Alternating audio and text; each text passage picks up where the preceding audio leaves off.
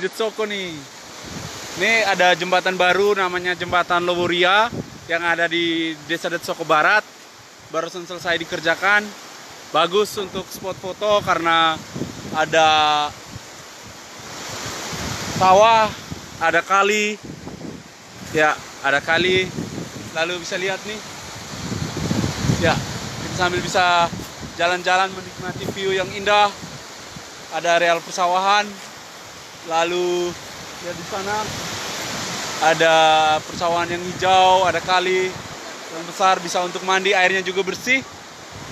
Jadi bagus juga untuk jalan-jalan.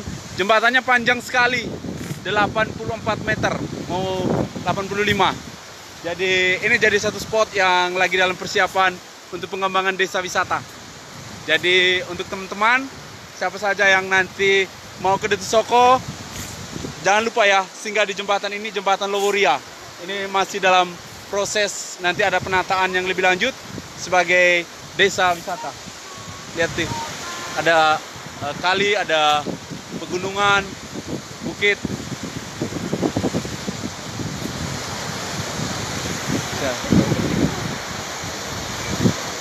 Oke, dah. Selamat sore.